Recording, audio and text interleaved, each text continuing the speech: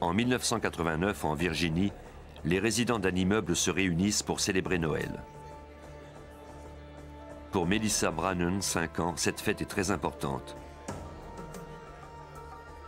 Puis, tout à coup, l'enfant disparaît. D'importantes recherches sont immédiatement organisées. Le service de police ainsi que la population locale mettent leurs efforts en commun pour la retrouver avant qu'il ne soit trop tard.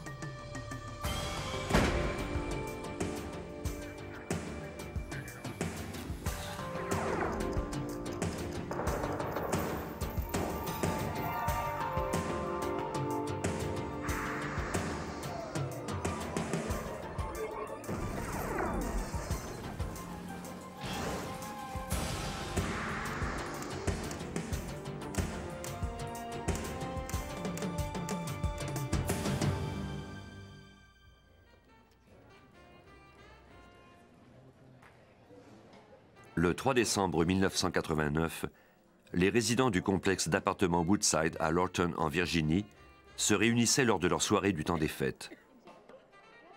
Bien que l'immeuble fût grand, tout le monde se connaissait.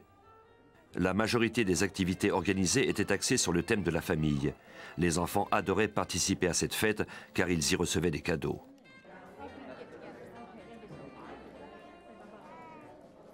Tammy Brannan, une jeune mère divorcée, avait trouvé là un endroit privilégié pour y élever Melissa, son unique enfant. Avant de quitter la fête, Tammy discuta encore quelques instants avec une amie.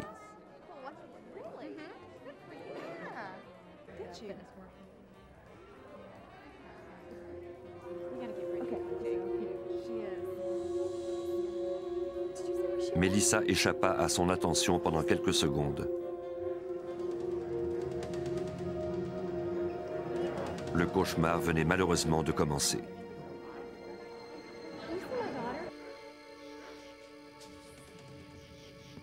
Melissa? Melissa? Melissa avait disparu. On avisa immédiatement le service de police de Fairfax County. Le détective Bill Wilden promit à Tammy de faire tout en son pouvoir pour retrouver l'enfant. Les agents questionnèrent tous les invités. Personne ne se rappelait avoir vu Melissa quitter les lieux, ni même s'approcher de la porte de sortie. Richard Rappaport, le responsable des recherches au service de police de Fairfax, prête à main forte au détective Wilden pour organiser les recherches. C'est lui qui se chargerait de l'enquête.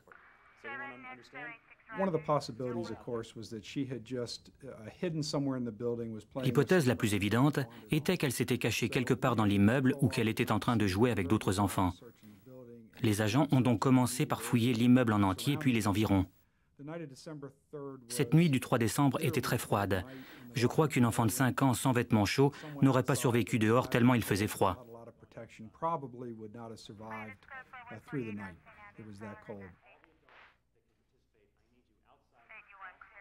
À l'aide d'agents de police et d'une dizaine de volontaires, Rappaport organisa ensuite une fouille méticuleuse du secteur.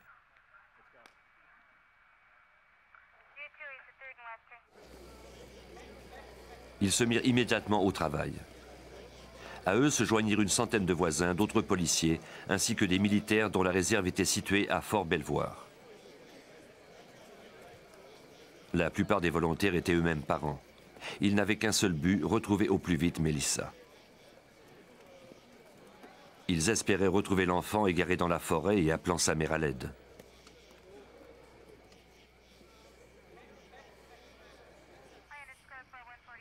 Les agents interrogèrent les 200 personnes qui avaient participé à la fête, en plus des 400 autres résidents de Woodside.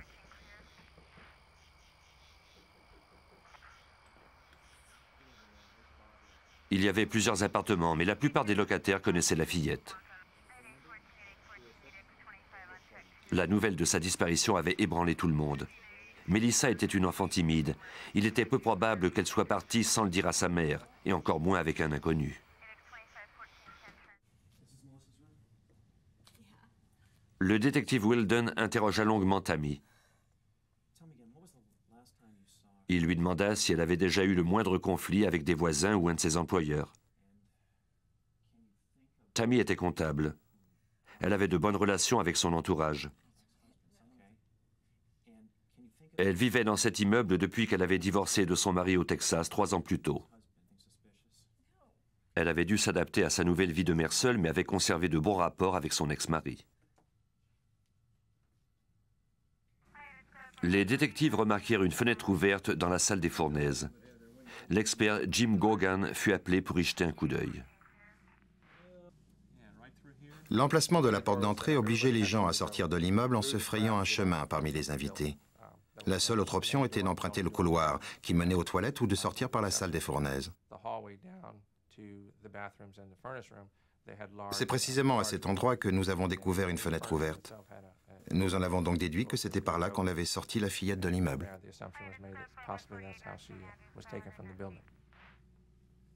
Il était possible que Melissa ait été enlevée. Du coup, l'affaire devenait plus complexe.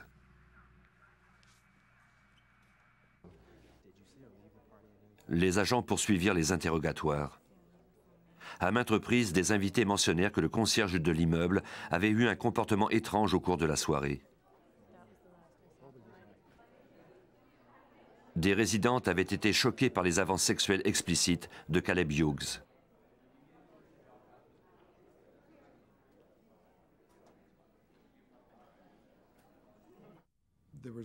La fillette avait peut-être été enlevée par un homme qui voulait abuser d'elle sexuellement.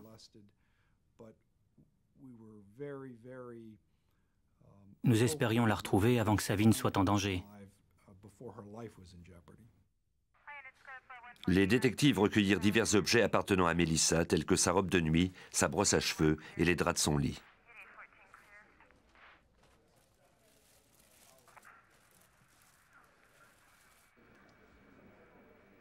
Pendant ce temps, d'autres policiers poursuivaient l'interrogatoire des invités. Le nom de Caleb Hughes fut mentionné à plusieurs reprises.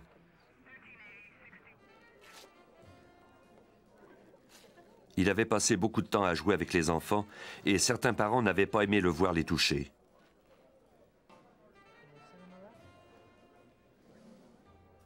Il y avait quelque chose de profondément dérangeant dans son comportement. Il n'était pas aussi bien vêtu que le reste des invités pendant la fête. Il portait ses vêtements de travail. Il a bavardé avec des résidents qu'il connaissait un peu, puis il a passé du temps à parler avec la mère de Melissa. Il lui a offert d'emmener la fillette avec d'autres enfants aux toilettes, si jamais ils avaient besoin d'y aller.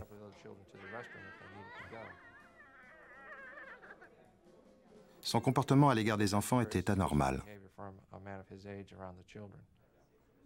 Les policiers essayèrent de joindre Hughes par téléphone avant de se rendre directement chez lui. Sa femme déclara qu'elle n'avait pas la moindre idée de l'endroit où il se trouvait. Il avait quitté la fête peu avant notre arrivée. Il vivait à seulement 6 km de l'immeuble. Pourtant, cela nous a pris plusieurs heures avant de pouvoir lui parler parce qu'il n'était pas encore rentré. Deux heures et demie après la disparition de Melissa, Caleb Hughes téléphona enfin à la police. Des détectives se rendirent à nouveau chez lui. Le concierge déclara qu'il avait un peu traîné avant de rentrer à la maison.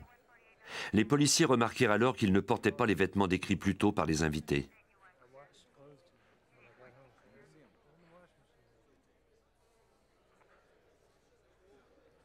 Hughes les avait mis dans la machine à laver avec une paire de chaussures de course, une ceinture de cuir et un étui de couteau. Il n'y avait cependant aucune trace de l'arme.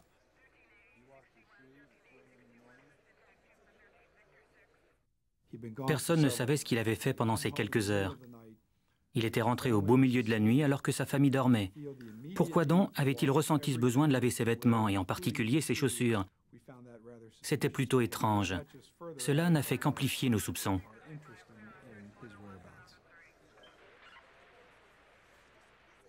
Comme Hughes semblait réticent à parler devant sa femme, les policiers le conduisirent au poste de police pour poursuivre son interrogatoire. Il refusait peut-être de parler chez lui parce qu'il avait une maîtresse.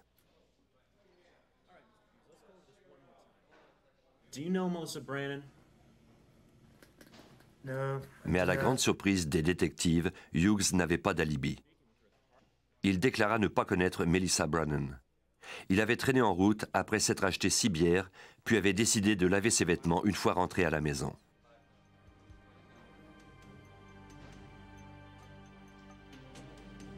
Son explication était que c'était les seuls vêtements de travail qu'il possédait et qu'il devait les laver car il les portait le lendemain.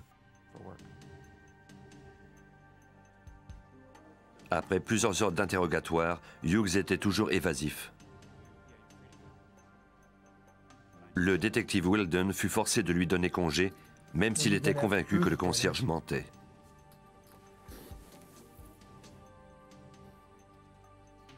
Pour le moment, il était le principal suspect dans la disparition de Melissa Brannan. Le détective Bill Wilden avisa alors Robert Oran, l'avocat du procureur du comté de Fairfax.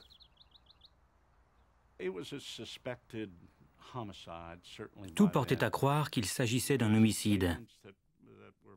Le suspect avait pourtant réagi d'une façon très étrange.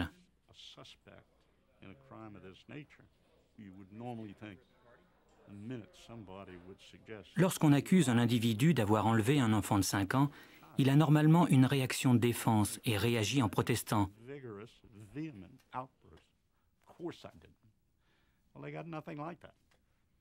Mais Hughes n'a pas eu cette réaction. Il a même mis Wilden au défi de le prouver. Son comportement était vraiment suspect.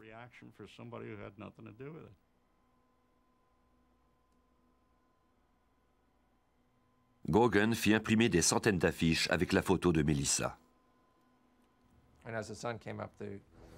Quand le soleil s'est levé, les battus se sont poursuivis vers le sud et sur l'autoroute. Des soldats fouillaient les bois près du chemin de fer. Nous avons essayé d'imaginer des lieux où elle pouvait se trouver.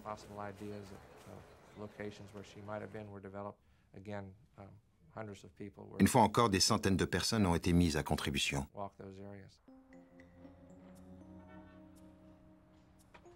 La voiture que Hughes avait utilisée le soir de la disparition de Melissa appartenait à sa femme. Cette dernière donna l'autorisation aux policiers de la fouiller. Les experts se mirent à la recherche d'empreintes digitales, de sang, fibres, cheveux, de tout indice qui leur permettrait de vérifier si Melissa s'y était trouvée. Les analyses révélèrent que toutes les empreintes digitales provenaient de membres de la famille Hughes. Par la suite, on préleva des cheveux et des fibres à l'intérieur du véhicule. D'habitude, ce type de micro-indice est recueilli à l'aide d'un aspirateur spécial. Malheureusement, il y avait trop de rebuts de toutes sortes pour procéder de cette façon. Lorsque je me suis approché de la voiture et que j'ai regardé à l'intérieur, j'ai eu un mouvement de recul. Les Hughes avaient deux gros chiens qu'ils transportaient souvent dans leur voiture. Il y avait beaucoup de débris et de saleté. C'était sans dessus-dessous. J'ai secoué la tête en me disant que nous n'étions pas au bout de nos peines. J'ai utilisé du ruban adhésif plutôt que l'aspirateur, en espérant recueillir ce qui se trouvait uniquement à la surface. C'était plutôt rare que nous procédions ainsi. En fait, c'était la première fois depuis que je travaillais au service de police de Fairfax. Maintenant, c'est une procédure que nous utilisons fréquemment. Gogan plaça ensuite les rubans adhésifs entre des feuilles de plastique transparent pour les examiner au microscope. Pendant que les experts poursuivaient l'examen du véhicule, les médias s'emparèrent de l'histoire de la disparition de la fillette. Le soir de la fête, Melissa portait un chandail bleu en acrylique orné du personnage de Big Bird. Elle avait des collants rouges, une jupe à carreaux rouges et une veste rose. J'ai remarqué des fibres roses et bleues sur le ruban adhésif, et ça m'a paru intéressant. En même temps, j'étais un peu inquiet car je savais qu'il nous faudrait retrouver les vêtements de la fillette pour procéder à une comparaison. Sans cela, il serait pratiquement impossible de tirer des conclusions. Gorgon aspergea l'intérieur du véhicule de luminol et découvrit des traces de sang sur le volant, les pédales et la moquette. Lorsqu'on soumet une partie traitée au luminol à un éclairage spécial, les taches de sang deviennent fluorescentes. Ce produit est très utile pour retrouver des traces de sang, mais il peut cependant détruire certaines marques génétiques de l'échantillon. Lorsque j'ai vaporisé le produit sur le volant, j'ai obtenu une réaction chimique. La même chose sur les pédales. J'ai ensuite recueilli le sang à l'aide d'un coton-tige. Hughes avait lavé ses chaussures, mais les experts du laboratoire parvinrent tout de même à déceler des taches de sang sur les semelles. Lorsque les policiers m'ont remis les vêtements du suspect, j'ai remarqué des entailles sur ses semelles et j'ai tout de suite trouvé ça louche. Le lien était facile à faire. Il avait tailladé ses semelles et comme par hasard, j'avais trouvé du sang sur l'accélérateur de sa voiture. Caleb Hughes avait-il tenté de dissimuler des preuves pour ne pas être associé à un crime aussi crapuleux? Après la découverte de sang dans la voiture du suspect, les détectives espéraient obtenir une confession de Hughes. Ils lui demandèrent de passer le test du détecteur de mensonges. Ce dernier ne parvint jamais à expliquer la présence d'entailles récentes sur ses semelles, ni où il se trouvait pendant les 2h30 entre son départ de l'immeuble et son arrivée à la maison. Il n'a jamais donné d'explication. Il ne faisait que répéter qu'il avait traîné en chemin. C'est tout ce que nous avons pu en tirer. Lors du test de détecteur de mensonges, Hughes nie avoir tué Melissa, mais l'expert Rick Daniel sut qu'il mentait. On lui a montré des photos. Il a nié formellement avoir vu cet enfant. Il a nié la connaître.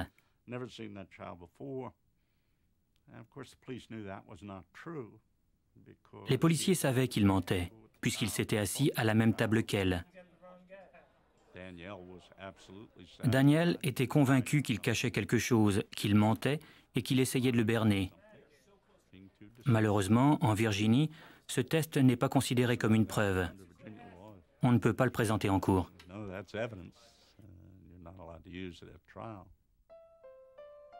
Les détectives étaient convaincus de la culpabilité de Hughes. De son côté, Tammy Brannan s'accrochait à la moindre parcelle d'espoir. Les cadeaux de Noël de la petite Mélissa l'attendaient encore au pied du sapin. Le bulletin de 19 heures a obtenu la confirmation que la police dispose d'un suspect principal dans l'enquête entourant la disparition de Melissa Brannan, 5 ans. Les recherches se poursuivent. Une récompense de 10 000 dollars est offerte pour toute information à propos de Melissa.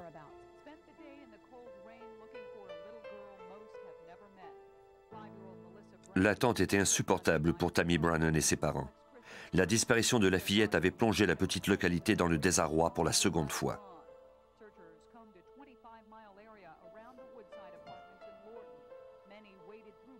Cinq mois plus tôt, Rosie Gordon, 10 ans, était partie faire du vélo lorsqu'elle avait été enlevée, violée et tuée.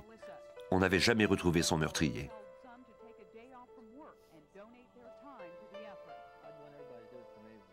La mère de Rosie ne tarda pas à apporter son soutien à Tammy Brannan. La nouvelle de la disparition de Melissa se propagea rapidement. La population montra son appui à la jeune mère en ornant les arbres de Noël de rubans jaunes symboliques. Tammy était une mère merveilleuse. Elle adorait sa fille et la protégeait. Melissa était sa seule enfant. Tous ces éléments mis ensemble ont touché le cœur des gens. Ils s'identifiaient à la famille Brannan et étaient de tout cœur avec elle. Des centaines de personnes proposèrent leurs services pour poser des affiches et aider les autorités locales à poursuivre les recherches. On fit également appel à un nouvel expert, John Goad est conseiller en recherche et sauvetage pour le Centre national de disparition et d'exploitation des enfants. Nous avons accès à toutes les données entourant la disparition d'un individu. Nous apportons notre aide aux familles et aux services de police. Nous sommes un peu le pont entre les deux. Nous travaillons sur le plus grand nombre de cas possibles. Après avoir été mis au courant des détails de l'affaire, Goad et son collègue se rendirent directement à l'immeuble en question. À l'extérieur, ils remarquèrent les traces de pas d'un homme adulte, elle débutait près de la fenêtre de la salle des fournaises et menait à une clôture dont la partie supérieure était endommagée depuis peu. Nous avons aussi remarqué des empreintes de pas de l'autre côté de la clôture qui menait à un stationnement derrière l'immeuble. Il s'agissait du stationnement d'un restaurant abandonné ou de quelque chose comme ça. Les traces s'arrêtaient là.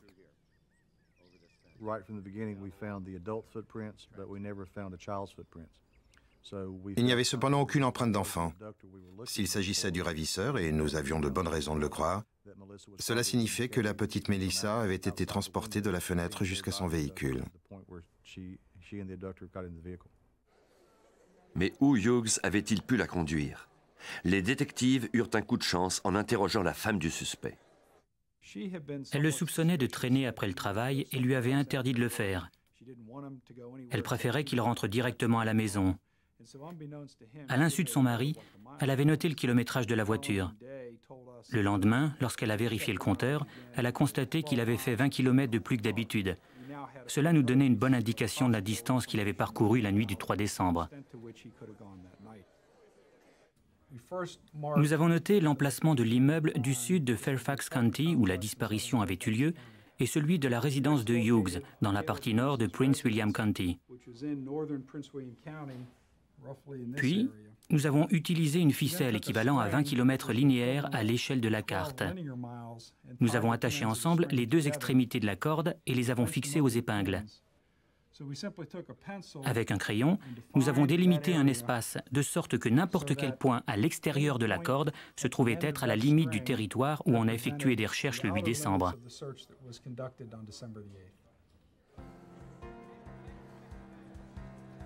Quelques jours après la disparition de Melissa Brannan, une nouvelle battue fut organisée dans un rayon de 40 km avec l'aide de l'armée, des services de police, de la patrouille aérienne et de la garde côtière.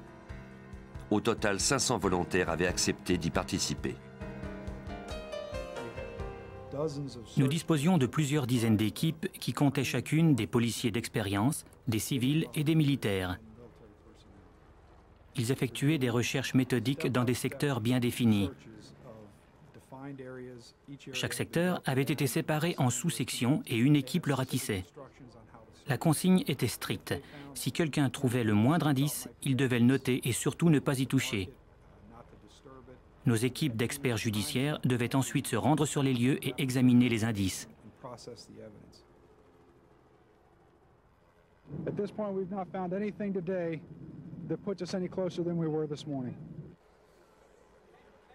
La déception pouvait se lire sur le visage des volontaires. Certains soirs, je rentrais à la maison et ma femme et mes enfants avaient entendu parler du cas au journal télévisé. Mes enfants me demandaient Papa, est-ce qu'ils vont retrouver la petite fille? Quand allez-vous la retrouver? Je suis convaincu que tous nos agents de police avaient la même conversation avec leur famille.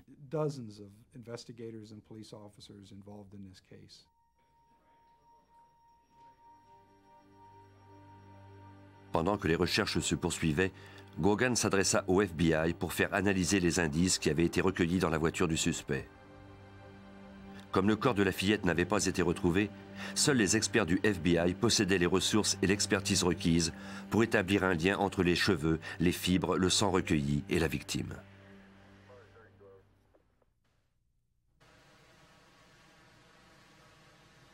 L'agent Doug Diedrich du service des micro-indices du FBI était chargé d'examiner les éléments que lui avait apportés Gogan.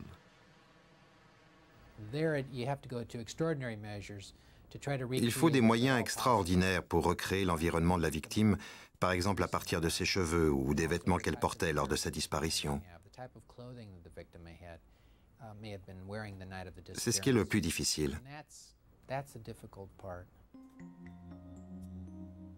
Tant que le corps de la fillette ne serait pas retrouvé, il serait pratiquement impossible de faire accuser Caleb Hughes, à moins de trouver des preuves irréfutables de sa culpabilité. Diedrich et ses collègues du laboratoire furent étonnés de voir la quantité de micro-indices prélevés dans la voiture du suspect. Les experts du service de police de Fairfax avaient identifié près de 70 sortes de fibres différentes.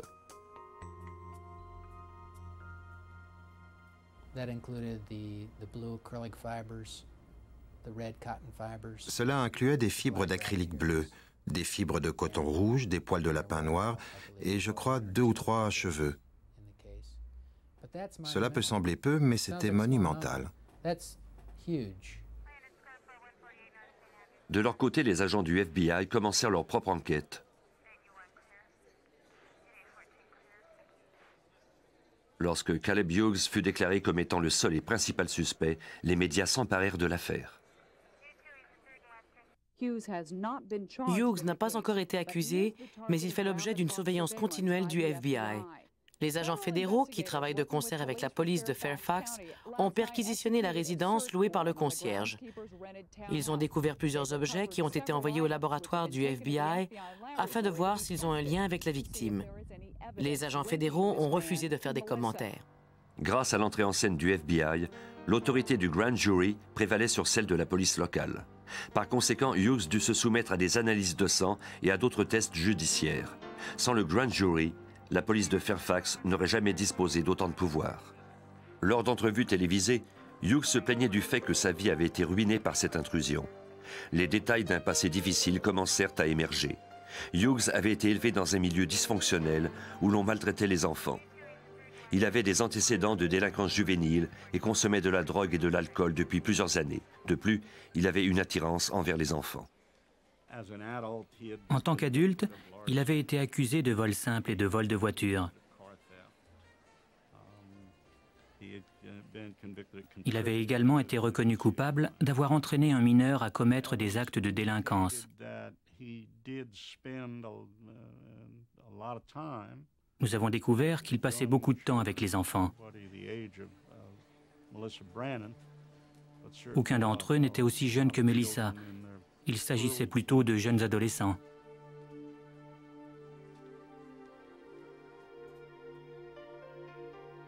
Au laboratoire, les analystes du FBI examinèrent les taches sur les semelles de Hughes. Le luminol avait endommagé les échantillons qui provenaient de la voiture du suspect.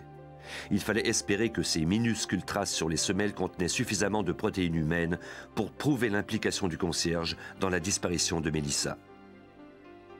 Les échantillons furent soumis à des analyses sérologiques et génétiques. Quinze jours après l'enlèvement de Mélissa, on organisa un rassemblement au complexe d'appartements. La disparition de la fillette avait profondément affecté la population de Fairfax. Pendant cette période des fêtes de 1989, tous les soirs au journal télévisé, on diffusait les images filmées par le grand-père de Melissa Brannan. Comme la plupart des gens de la région de Washington et de Fairfax, nous avions tous fini par avoir l'impression de connaître cette jolie petite fille. Peu de temps après le jour de l'an, un juge d'un comté voisin reçut une lettre de l'agent de probation de Hughes. Il l'informait que ce dernier avait violé les conditions de sa remise en liberté relativement à une inculpation de vol de voiture deux ans plus tôt. Le 24 janvier, le juge révoqua l'approbation de Hughes et ce dernier fut enfin mis derrière les barreaux. Il ne pourrait être remis en liberté qu'en novembre, ce qui donnerait amplement le temps au procureur de Fairfax de préparer l'accusation. Hughes n'avait pas pu être arrêté plus tôt à cause du manque de preuves. Maintenant, les experts du FBI pourraient procéder à toutes les analyses requises. Les chances de retrouver le corps de Melissa subsistaient toujours, mais sans lui, les preuves devraient être fabriquées dans le laboratoire judiciaire du FBI. L'expert Doug Diedrich avait d'ailleurs déjà trouvé une piste importante.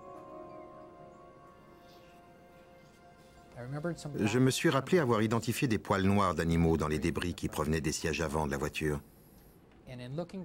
En examinant la robe de nuit de la fillette, j'ai remarqué ces mêmes poils entremêlés au tissage, et j'ai tout de suite fait un lien dans ma tête. J'ai installé ces poils sur des lamelles et je les ai comparés. C'étaient des poils de lapin teints et ils étaient identiques. De plus, ces poils présentaient exactement la même ondulation l'agent Diedrich appela aussitôt le procureur pour savoir si Tammy Brannan possédait un manteau de fourrure. Non seulement la jeune femme en possédait-elle un, mais elle le portait lors de la soirée des fêtes.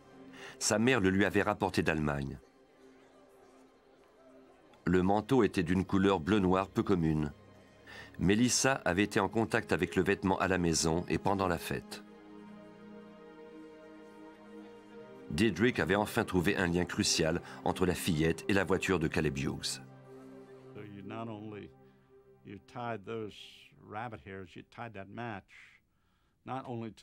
Ces poils nous permettaient de relier entre eux le manteau de la mère, la robe de nuit de l'enfant et la banquette avant de la voiture du suspect. Les semaines passèrent et le nom de Melissa disparut des médias. La vie avait repris son cours à Fairfax County, même si Tammy Brannan n'avait pas encore retrouvé son enfant.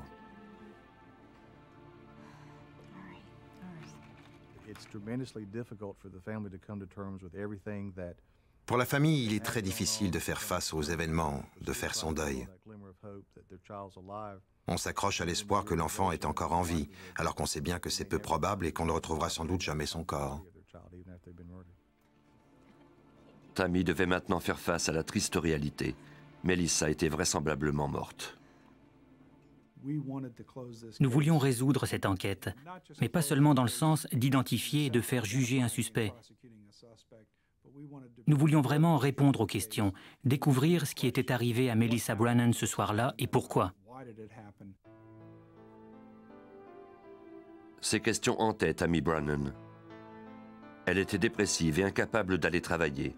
Elle restait chez elle à attendre.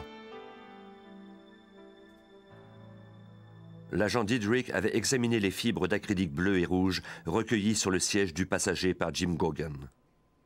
Au premier coup d'œil, ces fibres correspondaient à la description des collants rouges et du chandail orné d'un Big Bird que Melissa portait le soir de sa disparition. Malheureusement, sans ces vêtements, il ne pouvait pas effectuer de comparaison. Il était dans l'impasse. Je suis rentré à la maison et j'en ai parlé à ma femme. Selon elle, s'il y avait un Big Bird sur le chandail et non un Winnie the Pooh, c'est qu'il provenait de la chaîne de magasins Penny. Nous avions nous aussi des enfants du même âge.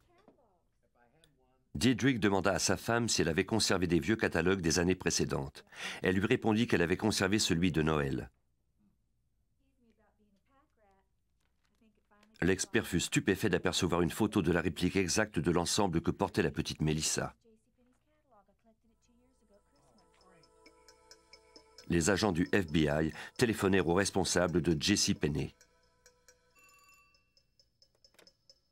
Cela faisait maintenant plus de deux mois que Tammy Brannan attendait un téléphone qui lui donnerait des nouvelles de sa fille. Puis, de façon inattendue, la sonnerie se fit entendre. Un homme lui révéla qu'il détenait Mélissa et qu'il la lui rendrait le lendemain en échange de la somme de 75 000 dollars. Sinon, avait-il dit, sa fille en subirait les conséquences.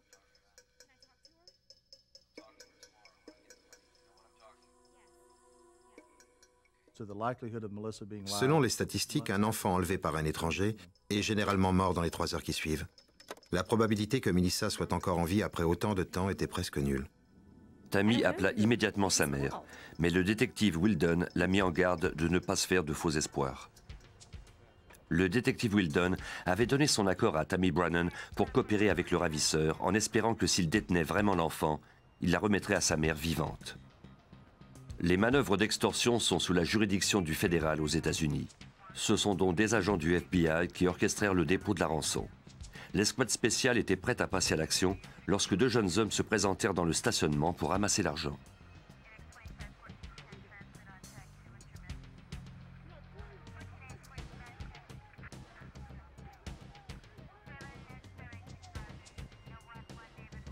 Ils furent arrêtés sur le champ. Mais détenait-il vraiment Mélissa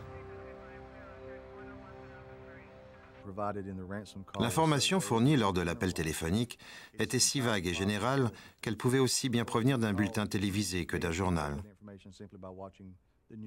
En général, lorsqu'un ravisseur demande une rançon, il détient des informations très précises qu'il est le seul à connaître, ou tout au plus qu'il partage avec certains enquêteurs seulement.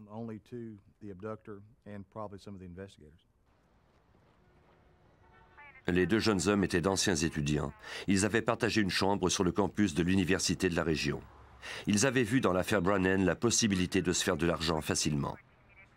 Ils furent trouvés coupables de cinq chefs d'accusation, dont conspiration et manœuvre d'extorsion. C'était un canular de très mauvais goût.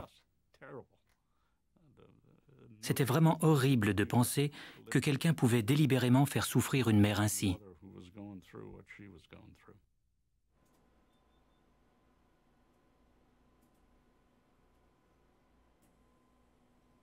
Il y avait une énorme quantité de poils de chien et de cheveux dans les échantillons recueillis par l'expert Jim Gogan de la police de Fairfax.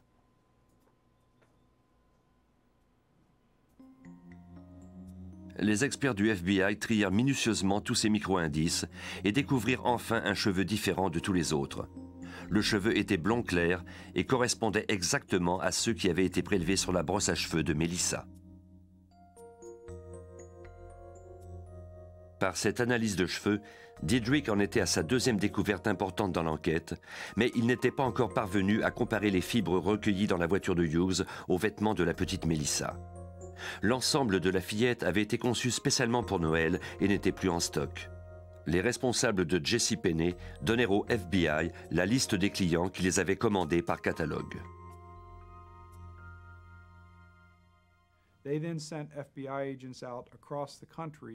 Des agents du FBI se sont ensuite dispersés aux États-Unis pour repérer des gens qui possédaient encore cet ensemble avec le dessin de Big Bird acheté par le biais du catalogue de J.C. Penney. Finalement, ils ont trouvé une famille. Avec ces vêtements en main, les experts pourraient sans aucun doute constituer une preuve solide les agents du FBI demandèrent à la famille de faire parvenir les vêtements au laboratoire judiciaire de Washington. On préleva des fibres rouges de la jupe de coton et des fibres bleues du chandail en acrylique.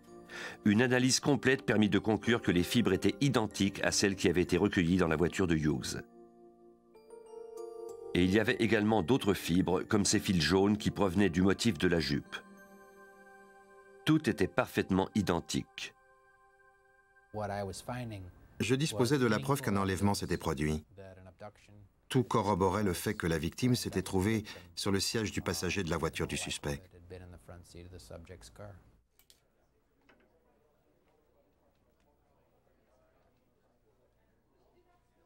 Grâce à ces nouvelles preuves, la poursuite pouvait désormais procéder à la reconstitution des événements.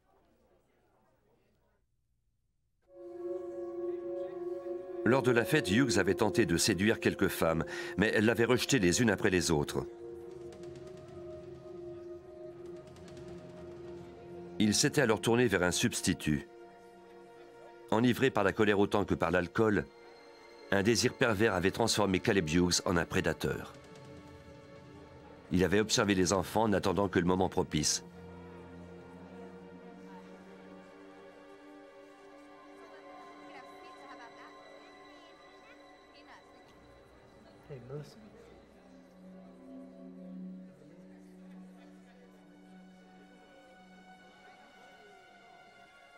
Dès qu'il en avait eu l'occasion, il avait saisi la petite Melissa Brannan.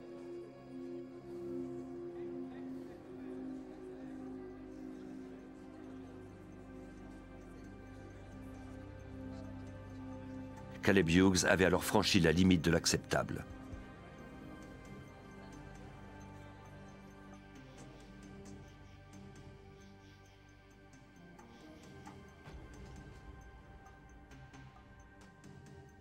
L'analyse des vêtements constituait une preuve solide et permettrait à coup sûr de garder ce meurtrier derrière les barreaux.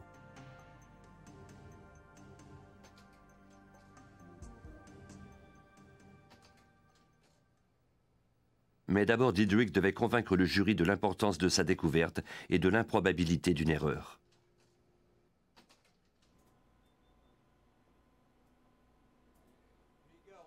Il demanda à ses collègues de lui prêter tout vêtement fait d'acrylique bleu qu'il possédait. Il en recueillit plus d'une centaine. L'objectif était de vérifier si les fibres recueillies dans la voiture de Hughes pouvaient ressembler à l'un de ses vêtements. La réponse était non.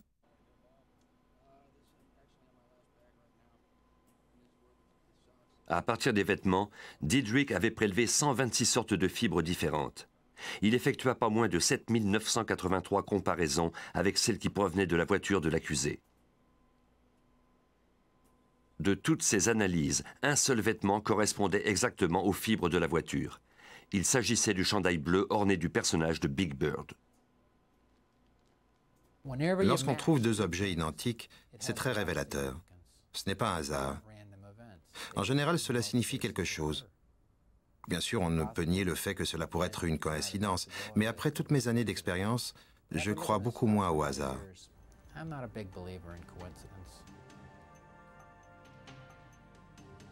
Trois semaines avant le procès, les détectives terminaient leur enquête lorsqu'un événement inattendu se produisit. Dans un comté voisin, des policiers avaient découvert le corps d'un enfant dans un boisé situé sur le terre-plein central de l'autoroute 95.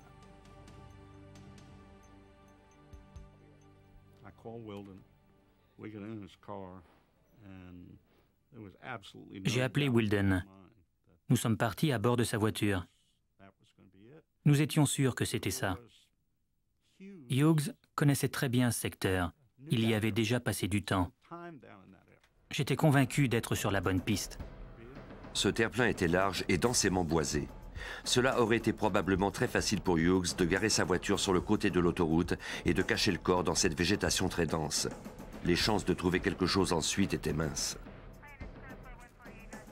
Les policiers croyaient avoir découvert le corps de Melissa près de l'autoroute 95. Si c'était le cas, l'avocat du procureur, Robert Oran, pourrait faire inculper Hughes de meurtre au premier degré. Malheureusement, il s'agissait de faux espoirs.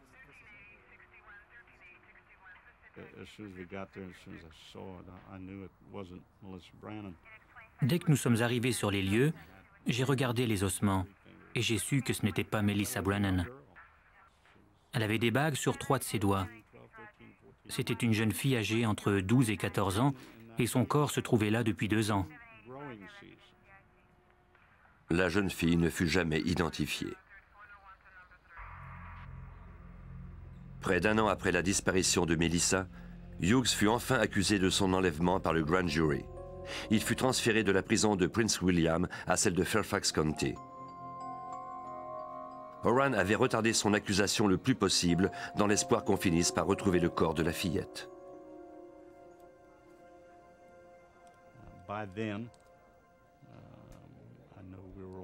Après tout ce temps, nous étions convaincus que l'enfant avait été tué.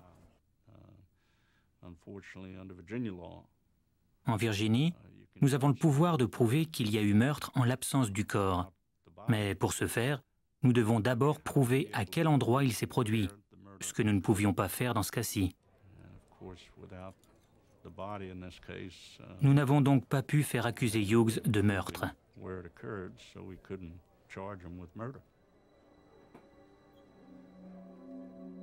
Le chef d'accusation le plus grave qu'on pouvait porter contre lui était enlèvement avec intention d'abus sexuel. Hughes plaida non coupable. Il n'y avait guère de personne dans Fairfax County à croire que Melissa était encore vivante. Mais tous, et en particulier Tammy Brannan, ressentaient le besoin de savoir ce qui s'était réellement passé et désiraient que justice soit rendue. C'est très important pour la famille d'obtenir des réponses, de savoir exactement ce qui s'est produit, même si c'est difficile à entendre. Ils veulent comprendre ce qui est arrivé à l'enfant à l'aide d'informations concrètes. C'est nécessaire pour faire son deuil et pouvoir ensuite continuer à vivre. Grâce aux nombreuses analyses de Diedrich, Robert Oran était confiant de réussir à convaincre le jury de la culpabilité de Hughes. Le procès débuta le 26 février 1991. L'accusation de Oran était axée sur le fait que Hughes avait affiché un comportement sexuel déviant lors de la fête. Il fit témoigner plusieurs femmes et les interrogea sur les propositions sexuelles explicites que le suspect leur avait faites. Certaines d'entre elles déclarèrent l'avoir aperçu en train de jouer avec Melissa ou de lui parler peu avant sa disparition.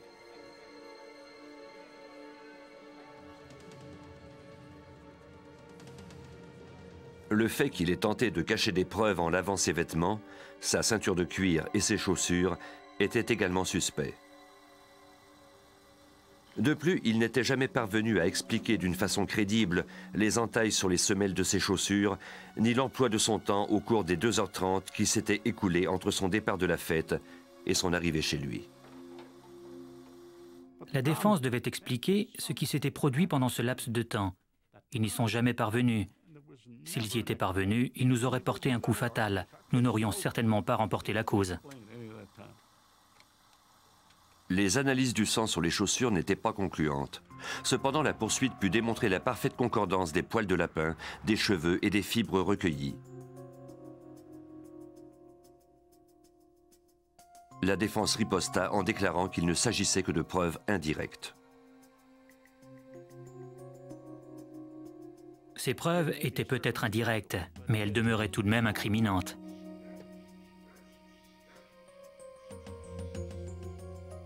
Afin d'obtenir la peine maximale, Oran espérait convaincre le jury que Hughes avait enlevé la petite Melissa dans le but de la violer une fois dans sa voiture. La seule façon d'expliquer le fait que nous ayons retrouvé les fibres de ses vêtements sur le siège avant était que son manteau lui avait été enlevé dans la voiture. Hughes n'avait qu'une seule raison pour déshabiller la fillette, et c'était de la violer. La vérité, c'est que cette fillette de 5 ans était assise dans le véhicule contre son gré.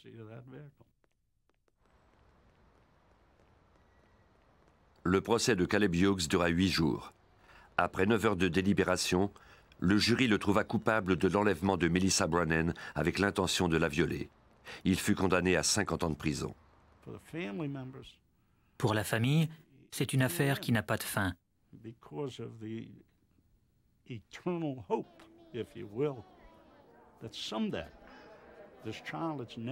Comme le corps de l'enfant n'a jamais été retrouvé, ils espèrent toujours qu'il réapparaîtra.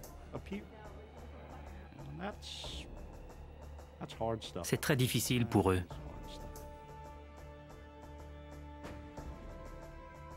Caleb Hughes purge actuellement sa peine d'emprisonnement. Le corps de Melissa Brannan n'a jamais été retrouvé. Depuis, Tammy Brannan a déménagé, mais elle a conservé le même numéro de téléphone car sa fille le connaissait par cœur. Elle espère encore qu'un jour le téléphone sonnera et que Melissa sera au bout du fil.